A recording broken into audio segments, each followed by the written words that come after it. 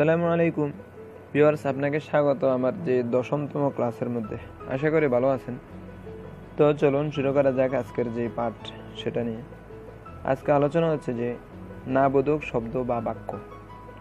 অর্থাৎ আমরা জানি হাসূচক এবং না সূচক বাক্য শব্দ সব দেশেই সব ভাষায় থাকে। তো কোরিয়ান ভাষার মধ্যে কি কি ব্যবহার হতে পারে? যেমন তার মধ্যে থেকে আন, জি আন, মত, জি মত অপসয় এই সমস্ত ব্যবহার হতে পারে। তো চলুন দেখা যাক।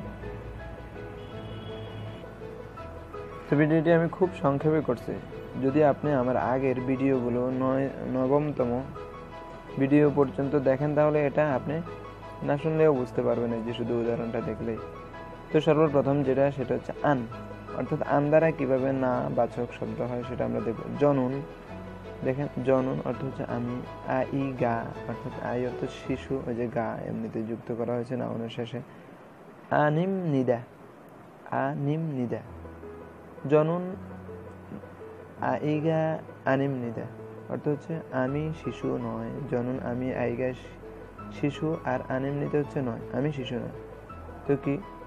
অরুণ ইমনিদা অরুণ অর্থ হচ্ছে সাবালক, বয়স্ক, প্রাপ্তবয়স্ক। অরুণ ইমনিদা আমি সাবালক। তো দেখেন, এখানে আনটা কীভাবে যুক্ত করা হয়েছে?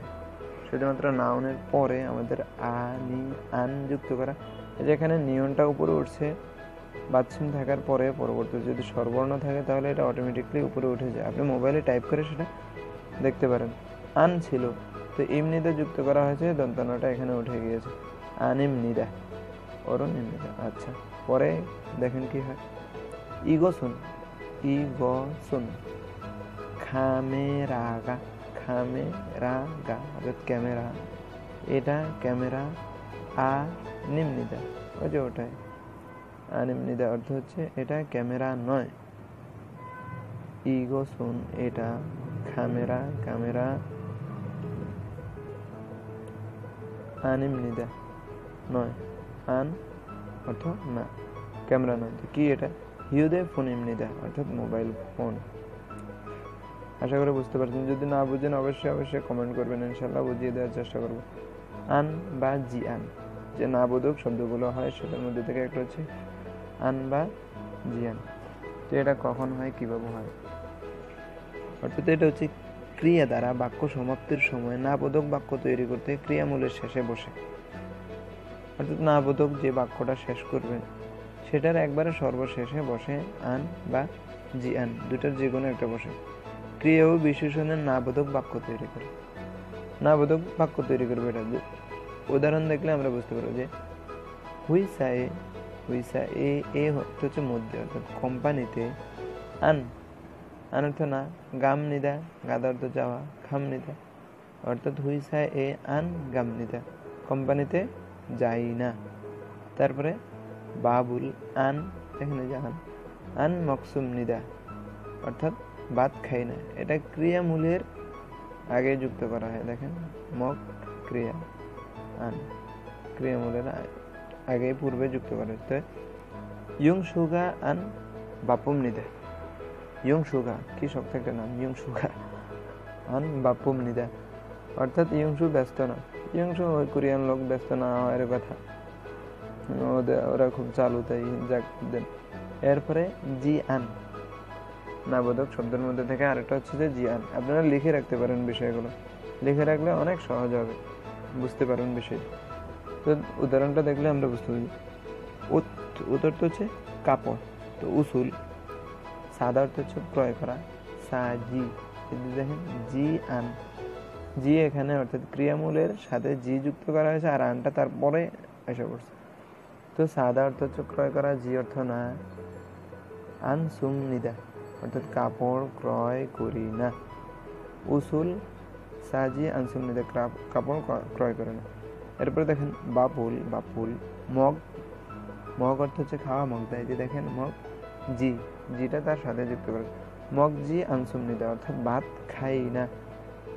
বিষয়টা খুব ভালো করে খেয়াল করুন। আপনি আগের ভিডিওগুলো যদি দেখেন, তাহলে এটা আপনার জন্য খুব সহজ। মগ, জি আনসুমনিদা ভাত খাই না এরপর হচ্ছে ইয়ং সুগা বাপ্পুজি আনসুমনিদা আন বাপ্পু বাপসুম নিদা এখানে ভুল লেখা হয়েছে ওই যে আগের পিকচারটার মধ্যে যদি দেখেন আপনি এই যে বাপ্পুম নিদা অর্থ যে ব্যস্ত তো এখানে এটাই হওয়ার কথা ছিল আমার ভুল হয়েছে সরি আন জি আন বাপ্পুম নিদা অর্থাৎ এই অংশ ব্যস্ত না আগেও বলছি সে ব্যস্ত থাকার কথাও না তো পরে দেখেন। তো পরবর্তীতে না বোধক যে শব্দ, তার মধ্যে থেকে একটা হচ্ছে মত এবং জিমত। মত, জিমত, কাজ সম্পর্কে নিষেধ বা অসমর্থ। অর্থাৎ একটা কাজ সে করতে পারবে না, নিষেধ করে দেয় কিংবা তার সাধ্য না থাকার কারণে সে করতে পারবে না, এরকম বলে। এবং এর বিপরীতেও অর্থ বোঝায়। অর্থাৎ এর বিপরীতে আর একটা সেন্টেন্স আসবে, এরকম বোঝাবে। তো দেখুন, উদাহরণটা দেখি, মজ্জিমতের জনন আমি বাবুল।